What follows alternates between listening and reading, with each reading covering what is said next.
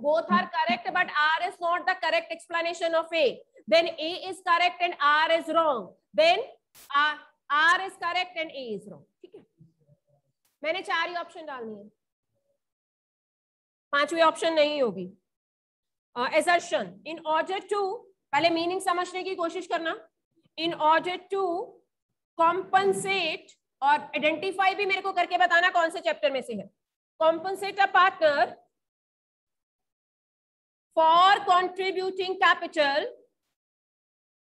for contributing capital to firm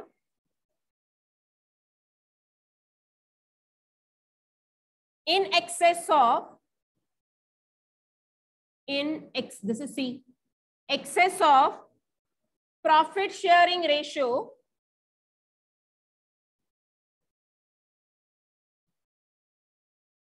firm pays, कितनी बड़ी line है? Pays interest on capital. Second, R. Interest on capital is treated as charge against profit. कौन से chapter में से? Partnership fundamentals done partnership fundamentals में से है अनडाउटेडली पहली लाइन का मीनिंग क्या है? पहले तो सेकंड लाइन के ऊपर मैं स्ट्रेस देती हूँ because it is a small line is interest in capital a charge is interest and capital a charge against profit? Yes, very good. It is an appropriation out of profit. Mind it. दो ही charge हैं पूरी partnership में. One is rent paid and other is interest and partners loan अगर ये सही है आपके अकॉर्डिंग आपने तो गलत कर दिया क्वेश्चन हो गया आपके अकॉर्डिंग तो गलत। यहाँ आप ए ऑप्शन करोगे या बी ऑप्शन करोगे, जबकि यहाँ तो सी है या डी है। जो भी है। तो few of you are saying कि yes it is correct it is not correct it's a charge I have written it is an appropriation भाई salary pay to a partner बोलो। Salary pay to a partner is it a charge और an appropriation फिर charge देखो। अभी बोला दो ही charge है, पूरी पार्टनरशिप में। बोलो कौन कौन से? Rent paid to a partner by the firm and interest paid on partners loan salary paid to a partner is an appropriation salary paid to a manager is it a charge और an appropriation फिर गलत। It's a charge now manager manager is my employ फ़र्क है भाई terminology तो सुनो। आँखें बंद करके प्लीज़ ब्लाइंडली वहाँ पे टिक मार्क मत करके आना। And you are going to get your OMR sheet you will be getting a question paper and OMR sheet पे आपको सर्कल्स को डार्क करना है। ठीक? 40 क्वेश्चन की आपको ओएमआर शीट मिलेगी। पता है ना एमसीक्यूज कैसे करते हैं? ठीक है? ओएमआर शीट पे आपको फिल करना है उसे। Done salary paid to a partner is an appropriation salary paid to a manager is a charge because manager is not my partner anything the firm pays to partner that can be the appropriation but out of that one is what rent paid to a partner and interest in partner's loan. Both are the charges. So this is incorrect. R is wrong. ऊपर वाले का meaning आपने मेरे को बताना option तो पता चली गई A is correct and R is wrong है ना सी ऑप्शन है लेकिन इसका मीनिंग क्या है who will tell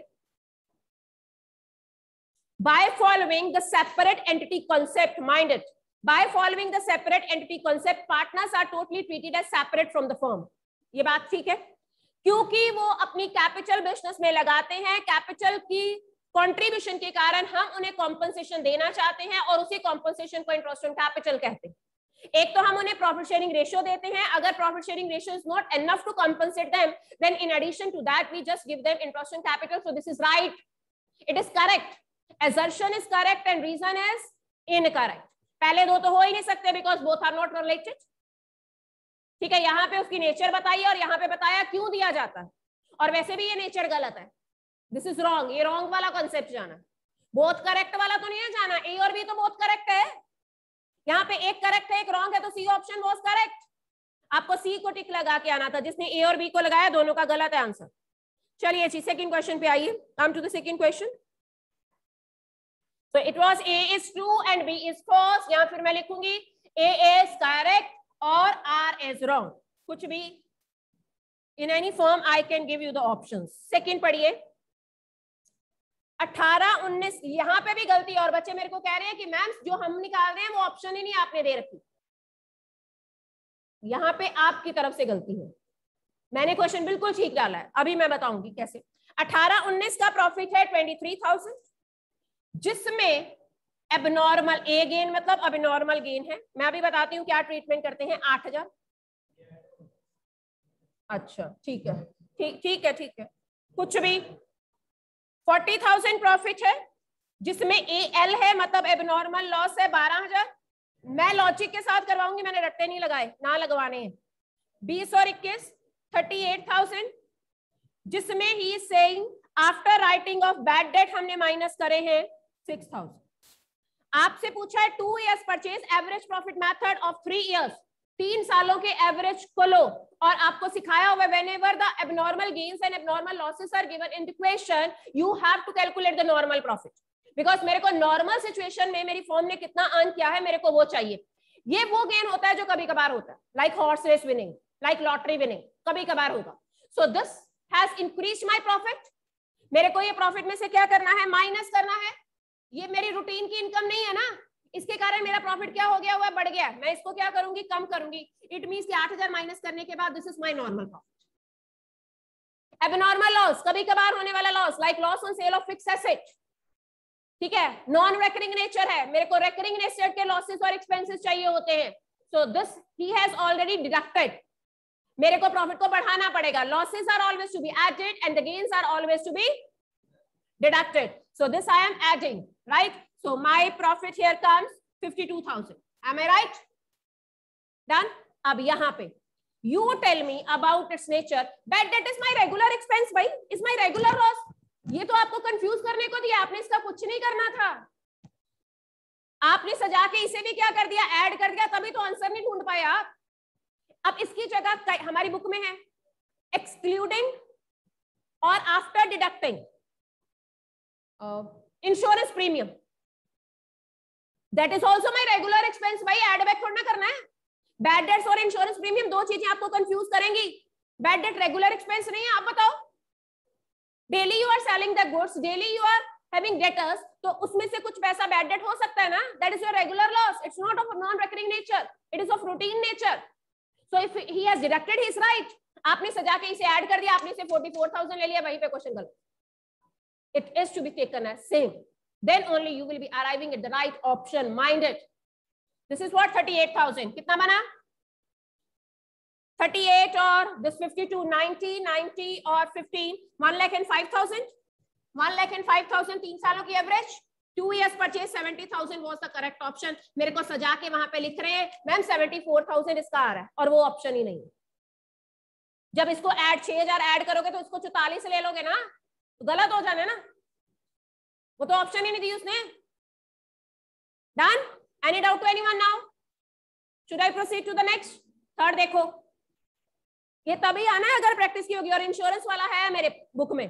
bad debt वाला नहीं है पर you can assume you can think bad debt is my regular expense और of irregular nature is it my recurring or non recurring nature? Every time you have to take only the recurring losses and recurring expense. Come to third.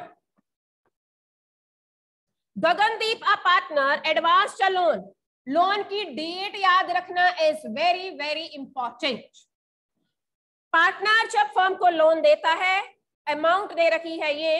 Firm को उस साल क्या हुआ? Loss हुआ, पंद्रह हज़ार का.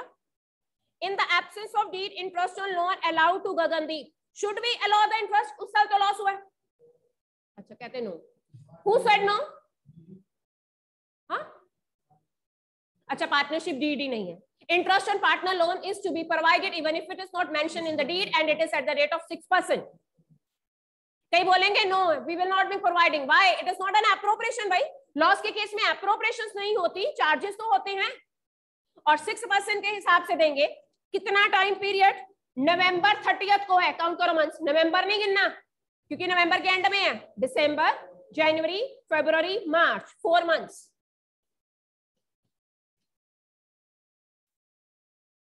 this is 1200 देखो ऑप्शन 1200 है यस करेक्ट जिस किसी का भी मैंने ओपन किया हुआ उसका ये करेक्ट ठीक है any doubt when nothing is mentioned about the interest on loan in the deed we do provide it and if there is a loss this is to confuse you in case of losses even the charges are being provided इसे change करके वो दूसरे partner का rent दे सकता है कि losses there और दूसरे पार्टनर को रेंट देना है rent will we will also provide ठीक है ना? हम पार्टनर को रेंट देंगे।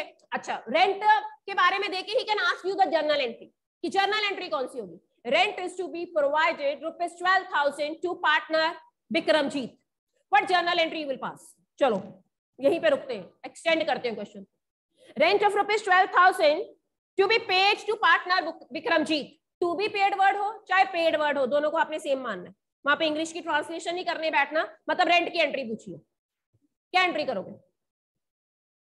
What entry will you pass raise your hand and मास थोड़ा सा नीचे करके बोलो। मेरे को पता चले किसने बोला। चलो सर जी स्टार्ट करते इसी लाइन से। विक्रमजीत, है ना? आप बोलो। रेंट टू विक्रमजीत आप बोलो।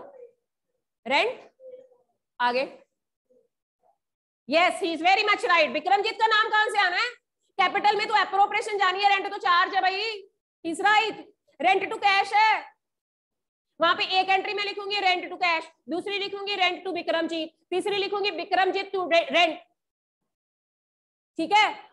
चौथी ये लिख सकती हूँ rent account debited to Vikramjeet current account तो रेंट टू कैश करेक्ट करके आनी है। Is it clear to you interest loan की क्या एंट्री है? Interest on loan provided to partner interest on loan provided to the partner chalo mohit interest on loan provided to the partner. एक word है to be provided अलग entry आएगी to be paid अलग entry आएगी। अब मैंने to be provided बोला। मान लो यही है बारह सौ। Interest on loan provided to Gagandeep entry बोलो। इसको एलेबोरेट करके वो जर्नल एंट्री भी पूछ सकता आता है कि नहीं? मैं आगे चलू? नहीं आता। अंकिता, बोलो। प्रथम, बोलो। ऊँचा, बोलो। मास्क थोड़ा सा नीचे करके बोलो। हम्म। गगनदीप। प्रथम, हमने एक बार भी सोचा गगनदीप को मैंने डेटर बनाना है। जब मैं गगनदीप को डेबिट करी मैं उसे डेटर बना रही हूँ। आपने सोचा ये? पर्सनल अकाउंट को डेबिट और क्रेडिट करते हुए सोचो तो सही बंदे को डेटर बनाना है कि क्रेडिटर चलो मनरीत बिल्कुल ठीक है। Interest on loan account debited to Gagandeep capital Gagandeep capital Gagandeep capital गलत है ये भी। इंटरेस्ट आपने कुछ रेक्टिफिकेशन करनी है? टू अगर पेड वर्ड है तो कैश ठीक है। मैंने बोला प्रोवाइडेड प्रोवाइडेड मतलब ड्यू करो। एंट्री होनी है ड्यू के केस में interest on loan account debited to loan account भाई। सिखाई नहीं हुई प्लस वन क्लास में entries interest on loan I am making due loan में ऐड हो जाएगा। अगर पे कर दिया तो टू कैश रेंट कितना? कहीं पे कैपिटल अकाउंट में थोड़ी ना जाना मनरीत यहाँ पे लिख सकते हैं to Gagandeep loan account instead of writing only loan you can write to Gagandeep loan account एक क्वेश्चन में से कितने क्वेश्चन मैंने बना दिए?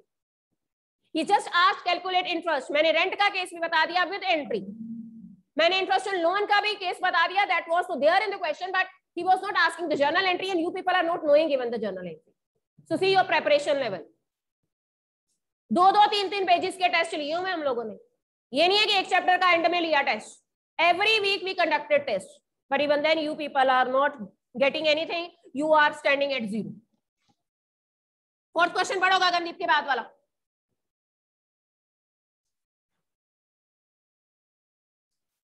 ये भी गलत है, जिस बच्चे का मैंने खोला हुआ response P Q and R partners profit before appropriation is this? Interest on capital and salary. दोनों की थी। इंटरेस्ट था चालीस हज़ार ग्रैंड टोटल और सैलरी थी सेवेंटी फाइव थाउज़ेंड ठीक है, तीनों की मिला के। पी एंड क्यू दोनों को कमीशन देनी है six percent on NP after interest salary and commission it mean कि आफ्टर आफ्टर कमीशन का फॉर्मूला लगना है। इतना क्लियर हो गया? आफ्टर कमीशन का फॉर्मूला लगना है तो six divided by one hundred six लगेगा। लेकिन पहले मैं बाकी की अप्रोप्रिएशन को माइनस करूँ। ये 40 है ये 75,000 है ये इंटरेस्ट कैपिटल है ये सैलरी है। चलो जी पहले इंटरेस्ट कैपिटल माइनस किया। मेरे पास बचा 747 फिर मैंने सैलरी माइनस करी 75,000 zero zero zero this is two this is seven six seventy two right अब उसने मेरे इसको दोनों की कमीशन बोली है। जब दोनों की कमीशन है सिक्स प्लस सिक्स हो गया। सिक्स प्लस सिक्स मतलब ट्वेल्व ना? तो this is profit before commission formula क्या होता है? Into rate of commission divided by hundred plus rate करना जरा कैंसिल करके। Twelve divided by one hundred twelve से आंसर आता है। Twelve divided by one hundred twelve. देखो जरा। कितना आता है कैंसिल करके?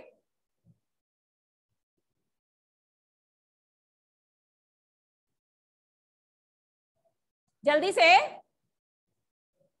672 इंटू ट्वेल्व डिवाइडेड बाय 112 चलो थोड़ा सा कैंसिल करती हूँ। सिक्स पे गया 56 पे गया थ्री पे गया 28 पे गया। चलो करो 28 पे जाता है 672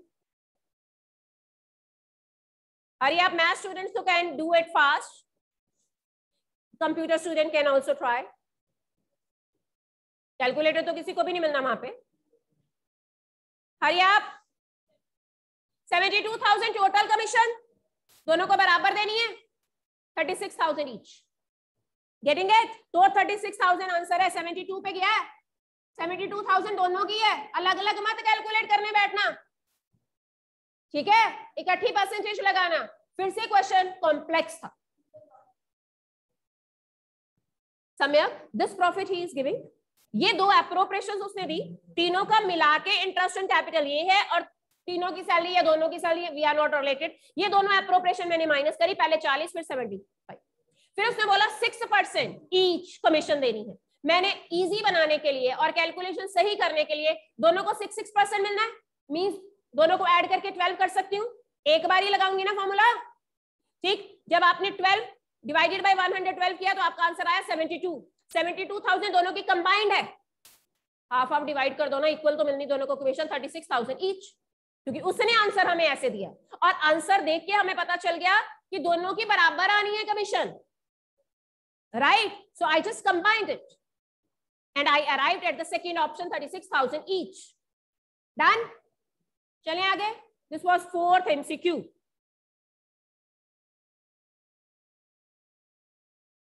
fifth पे आइए। Yes again that was complicated आपको याद है change in profit sharing ratio में क्या क्या करते थे? Change in profit sharing ratio में क्या होता था? गेनिंग पार्टनर डेबिट होता था और सेक्रीफाइसिंग पार्टनर क्रेडिट होता था। ठीक है? कब होता था? जब पार्टनर्स डिसाइड करते थे not to distribute the item like reserve मैंने डिस्ट्रीब्यूट नहीं करना गुडविल मैंने डिस्ट्रीब्यूट नहीं करनी तो हम गेनिंग और सेक्रीफाइसिंग से एंट्री कर दिया करते थे। अब क्वेश्चन कैसे डिफरेंट है? उसने एंट्री खुद बताई है और बत, कहता मेरे को बताओ किस चीज़ की एंट्री हुई क्या ये एंट्री एडवर्टाइजमेंट सस्पेंस की है? क्या ये एंट्री कंटिजेंसी रिज़र्व की है? क्या ये entry P and L account debit की है? क्या ये entry P and L account credit की है? सो वी विल थिंक ठीक है? तो देखते हैं। पहले देखो जी। और उसने बोल ही दिया on the basis of following table, find the balance which was existing on the date of reconstitution it mean की रिकॉन्स्टिट्यूशन कब होता है? जब change in profit sharing ratio होता है और एडमिशन पे भी वैसे होता है। लेकिन क्वेश्चन में हमारे पास दिस इज़ छवि और चारवी है शायद। चारवी और वन्या। ठीक है? ये एंट्री उसने दे रखी है। Charvi's capital is to be debited with thirty thousand and Vanya's capital, this is given in the question. ठीक old profit sharing ratio was this and they decided this. जैसे मेरे पास नई और पुरानी रेशियो होती है सबसे पहले मैं सेक्रीफाइसिंग और गेन निकालती हूँ। अगर एक का सेक्रीफाइस आ जाता है तो दूसरे का हम मान के चलते हैं गेन ही होगा क्योंकि पार्टनर्स ही दोनों। ठीक? I am applying the formula और I always suggest you to apply the formula of sacrificing ratio अगर आंसर नेगेटिव में आएगा तो हम गेन मानते थे। करवाया हुआ ना फोर्थ चैप्टर में? चलिए जी, निकाले।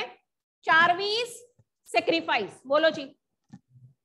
This all is your working note you are making for yourself हमने कहीं पे नहीं पूछा कि ये बनाइए। आपने वहाँ पे तो टिक लगानी थी एक आइटम को। This is what three by five minus one by two and that will be two by five minus one by two. So this is going to be 10 six minus five is equal to one by ten it is quite obvious उसका one by ten minus है। ठीक है। चारों options में amount तीन लाख दे रखी है। चारों ऑप्शन में अमाउंट तीन लाख। अच्छा एक एडवर्टाइजमेंट सस्पेंस दो लाख भी दे रखा। दो लाख तो हो नहीं सकता क्योंकि वन बाय टेन अगर मैं तीन लाख का निकालू तो थर्टी थाउज़ेंड आना ना। इट मीन की दो लाख वाली ऑप्शन तो आउटराइटली रिजेक्ट है। पहले ध्यान से सुनो। थर्टी थाउज़ेंड वाली एंट्री उसने दे रखी है। थर्टी थाउज़ेंड टेन परसेंट मतलब वन बाय टेन करके आया होगा। इट मीन की ग्रॉस आइटम तीन लाख रही होगी ना। इट मीन की दो लाख वाली ऑप्शन तो आप पहले से ही निकाल दो। एक दो लाख वाली ऑप्शन भी दे रखी है, वो तो पहले से निकाल दो। बात रह गई अगली तीन आइटम्स की। आई एम राइटिंग इट किसको गेन है? This is Vanya Vanya is second partner entry में गेनिंग पार्टनर डेबिट होना चाहिए था बेटे, है ना? मेरे अकॉर्डिंग वान्या डेबिट होनी चाहिए थी, लेकिन इसने चार भी डेबिट करी है। क्यों? I will tell you contingency reserve उसने दे रखा है थ्री लैख ये भी ऑप्शन हो सकती है। कंटिजेंसी रिज़र्व कौन सी साइड पे अपेयर होता है? कौन सी साइड पे अपेयर होता है? बोलो लाइबिलिटी के एसेट देखो लाइबिलिटी ठीक है। Every reserve we find on the liability side फिर उसने दे रखा ऑप्शंस लिख रही हूँ। पी एंड एल का डेबिट बैलेंस ये कौन सी साइड पे अपेयर होता है? फिर उसने दिया पी एंड एल का क्रेडिट बैलेंस ये कौन सी साइड पे अपेयर होता है? ये कौन सी साइड पे अपेयर होता है? Debit balance P and L का? एसेट ये कौन सी साइड पे अपेयर होता है? लाइबिलिटी अगर मैं इसे राइट ऑफ़ करती, तीन लाख का वन बाय टेन करती तो मैं एंट्री क्या करती? गेनिंग डेबिट होता और और सेक्रीफाइसिंग क्रेडिट होता। क्रेडिट बैलेंस का मतलब यही होता। गेनिंग डेबिट होता और सेक्रीफाइसिंग क्रेडिट होता। लेकिन यहाँ पे उलट किया। इसने क्या किया? सेक्रीफाइसिंग डेबिट किया और गेनिंग क्या किया? क्रेडिट किया। इट मीन की रिवर्स वाला केस आना है।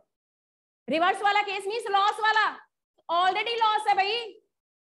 ऑलरेडी लॉस है। लॉस को आपने क्या करना है? राइट right ऑफ़ करना है। बिना इस अकाउंट को छेड़े हुए। जब आपने लॉस को राइट ऑफ़ करना है तो गेनिंग वाला क्या होगा? उलट होगा। वैसे गेनिंग वाला क्या होता है? डेबिट अब गेनिंग वाला है तो कंपनसेशन देनी पड़ेगी।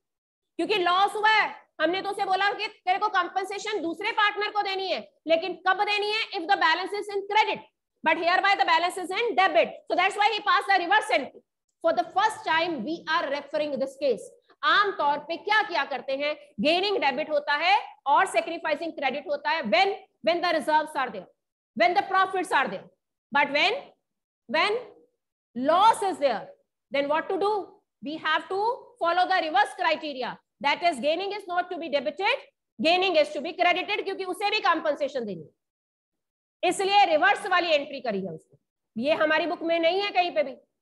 और ना ही ये केस कभी जर्नल एंट्री में हमने डिस्कस किया उसने हमें सीधे सीधे क्वेश्चन डाले हैं रिज़र्व है तो क्या करो? गुडविल है तो क्या करो? ठीक है? उसने कभी भी पी एंड एल अकाउंट को डेबिट बैलेंस को उसने कभी भी डिस्कस नहीं किया। So we have to pass the reverse entry. This you have to cram, you have to retain. So it was p and l debit balance. That was the correct answer. आगे चलिए जी। हम्म। फिर से नया point super profit का formula बोलो। SP is equal to बोलो। Actual profit minus normal profit यही होता है? सुपर प्रॉफिट का कैपिटलाइजेशन का फॉर्मूला बोलो। सुपर प्रॉफिट की कैपिटलाइजेशन का फॉर्मूला बोलो।